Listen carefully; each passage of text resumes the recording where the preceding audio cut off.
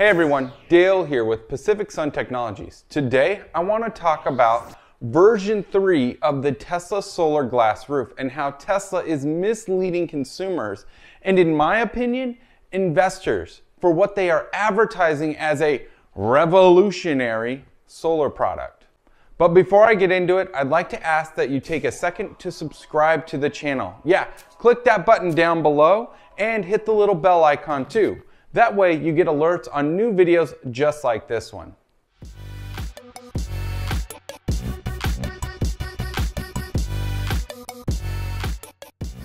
Tesla, Tesla, Tesla. Before we talk about version 3, we need to talk about how we got here. And it all started when Elon Musk acquired SolarCity back in 2016 for an insane $2.6 billion. It was an unprecedented valuation for a solar installation company, and it was well known in the industry that SolarCity was on the verge of bankruptcy, like many other solar installation companies back in 2016. They were in dire need of capital. Thinking back, I, think like a total of seven nationwide solar companies went bankrupt, and it's not because they weren't selling enough, but because the solar industry is very difficult for a large company to thrive in. But Musk bailed out his cousin, so here we are. What has Tesla managed to do with this acquisition? Well, they've laid off over 20% of the workforce, ended a partnership with Home Depot, and sold off many of SolarCity's assets. And while all of this was going on, Tesla announced its amazing new solar roof to use alongside the new Powerwall 2. Musk boasted about how efficient and advanced the technology was and how they would offer different shapes and colors to appeal to different style homes and how Tesla glass was indestructible. And we all know how that's been.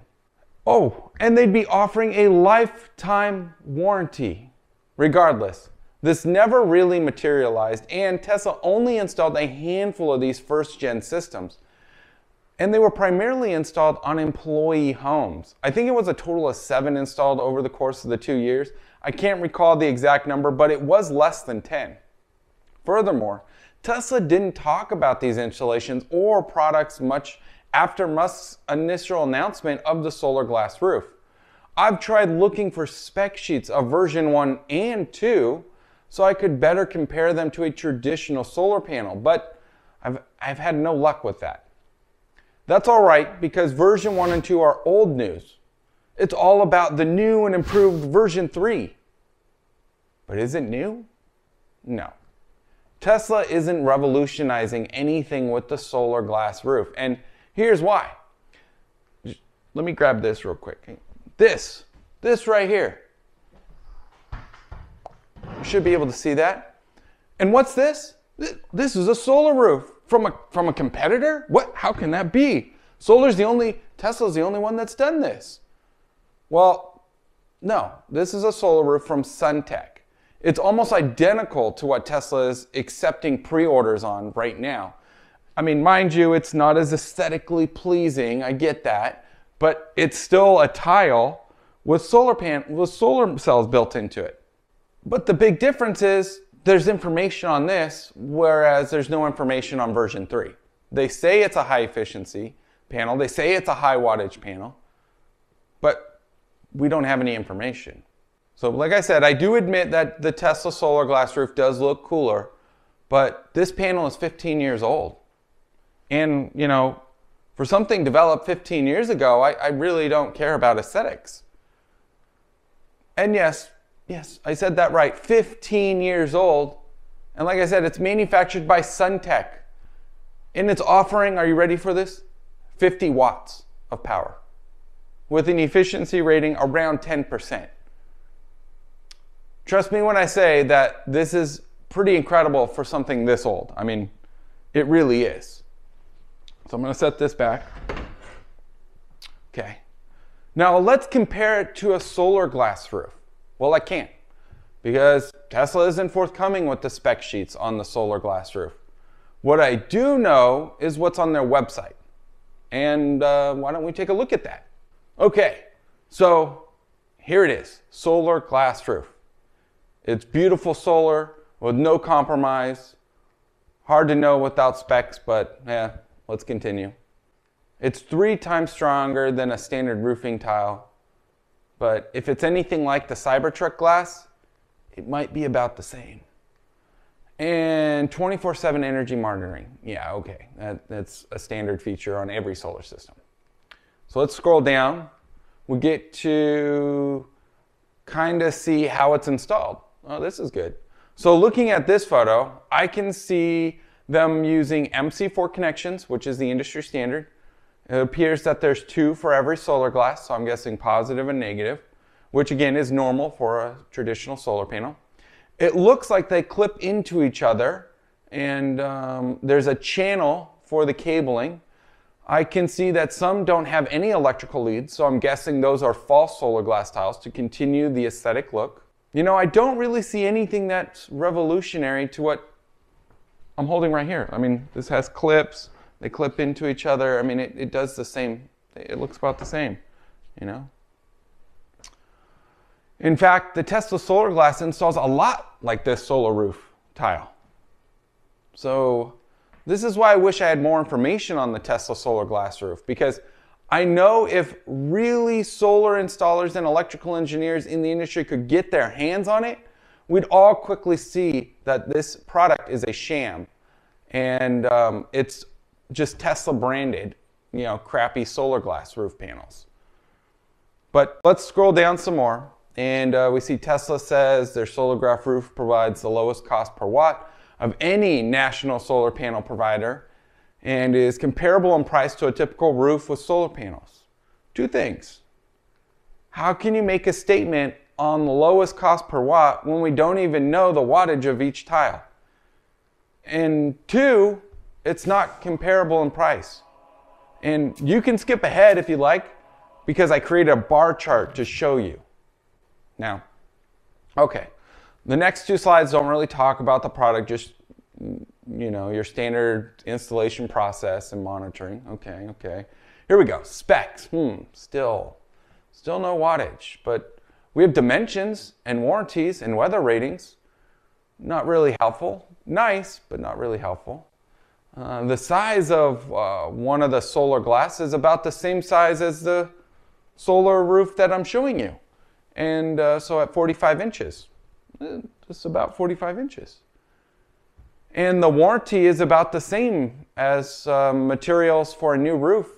And the performance warranty, well, it's 25 years. I mean, I don't know what the output guarantee is by year 25. Uh, this panel right here that I'm holding is 80%. So at year 25, Suntech was warranting 80% output out of this 50 watt panel. I don't know what Tesla's is. It's just got a 25 year warranty. And that means nothing. So if this tech is so great, why hasn't the industry focused on this? Because it's been around.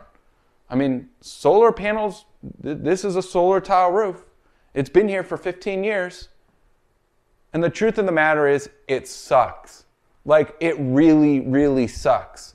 There's been dozens of solar manufacturers that have tried to perfect this and they all come to the same sad realization. The technology just isn't there, and you end up sacrificing so many things to get something to be aesthetically pleasing. Now, mind you, this isn't as nice as a solar glass roof, but it's low profile. It, you literally, it is your roof. So it's still holding the same concept. It's still, I guess, more appealing than a traditional solar system that gets installed on top of your roof tiles.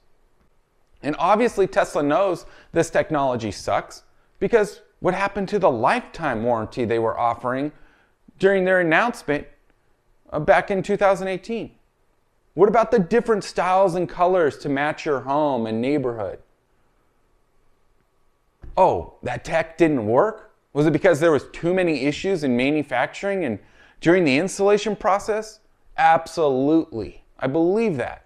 And that's why Tesla has waited so long to announce version 3. Did you hear about version 2? No? Well, go figure, because it was another crappy product. It'd be awesome if this technology worked. It really would be awesome, but it has a lot of issues And and things Tesla isn't even telling you about are there's issues. One being shading. This is a big deal in solar. And in recent years, thanks to innovation, solar companies have been able to create optimization for the solar panels built into the panel and by using special components called optimizers. Now, if you're not familiar with an old school string inverter system, basically you have a group of panels connected together in parallel. This makes for one large panel that connects to the inverter. But there's a huge drawback to this because if one panel gets just a little shade or is underproducing, then all the panels it's connected to in that string decrease to match the one panel. So let me let me help better explain this. So just imagine you're going to run a marathon and you've trained for this for for a year or two and your time for this crazy mar- marathon is under 2 hours. Well, imagine there's a sudden change in the rules and you get handcuffed to a person that has never trained and never done a marathon in their life. And you're so you're stuck running with them. Well, guess what? You're not going to be accomplishing this marathon in under 2 hours. You'll be stuck at the pace of this person that's never run a marathon and never trained for one in their life. That's basically how traditional string solar panels work and that's how the solar roof panels work. They connect together. But thankfully, optimizers that, and the technology behind them allows for the panels to act independently from one another. So that untrained person won't be handcuffed to you with a chain, but maybe with a wireless signal. You run at your pace, they run at their pace. No one is affected by the other person. That's not something that appears to be integrated into this Tesla solar glass roof.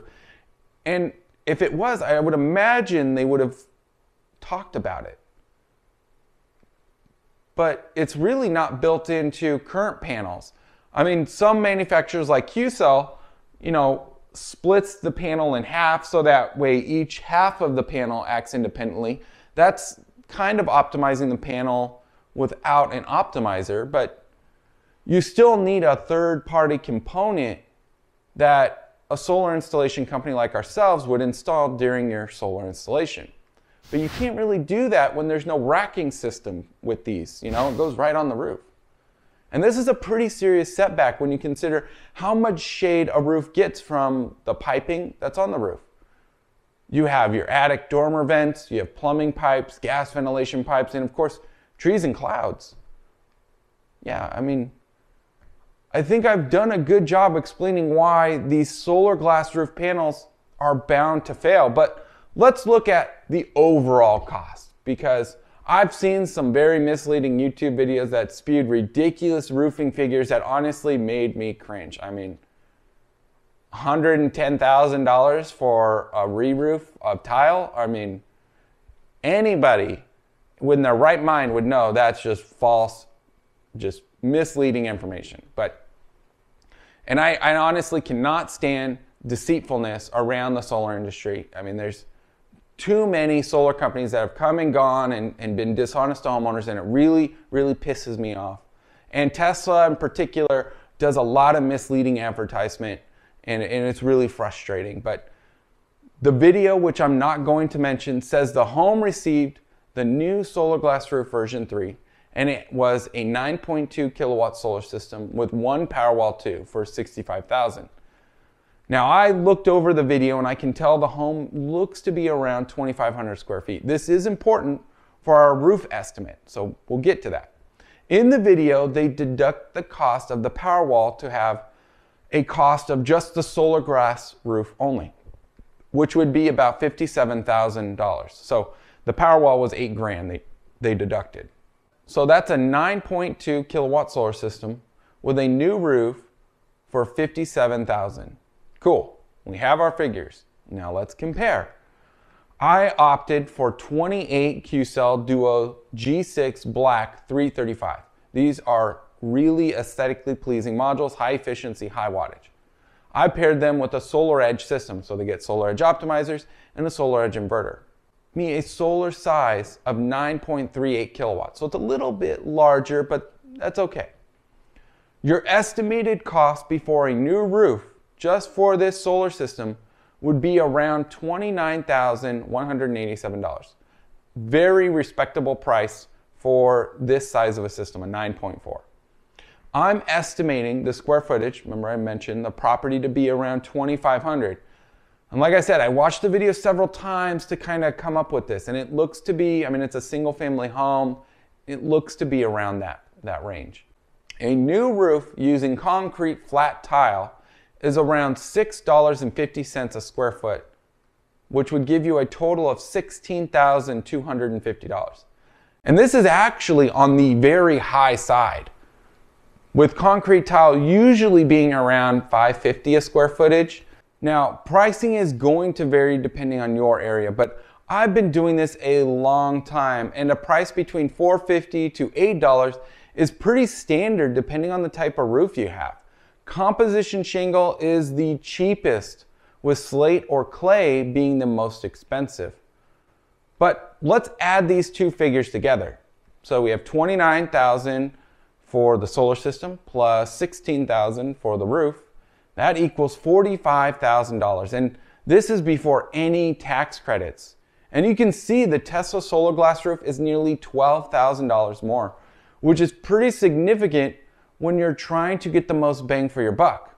I think it's important to note that in most of our situations, homeowners actually opt to only re-roof the area where the solar is being installed.